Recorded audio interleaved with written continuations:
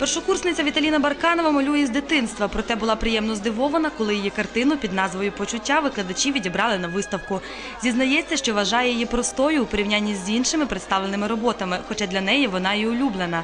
Натхнення юна художниця черпає у снах. Ось і ця картина їй наснилася. Вона символізує різні почуття. Кожна маска має різні почуття. Там, наприклад, це посмішка, головна маска у цій картині.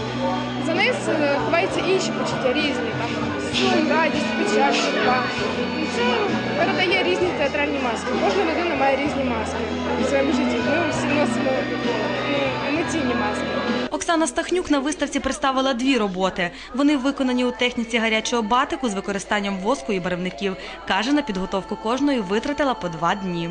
Студенти всі працюють в короткі терміни, так і ця робота швидко виконувалась. Ну і чим швидше виконана робота, тим е, правдивіші емоції вкладені.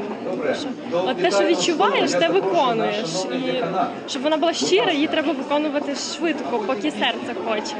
На кафедрі образотворчого та декоративно-прикладного мистецтва розповідають, організували виставку, щоб продемонструвати студентське бачення та сприйняття світу і буденності.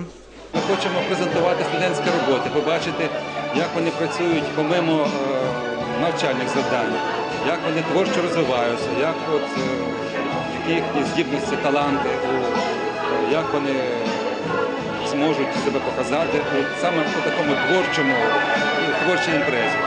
Приурочили виставку до Міжнародного дня студента. Для кафедри вона вже стала традиційною. За словами викладачів, з кожним роком рівень робіт молодих митців помітно зростає. Тетяна Климчук, Микола Штемпель. Інформаційна програма День.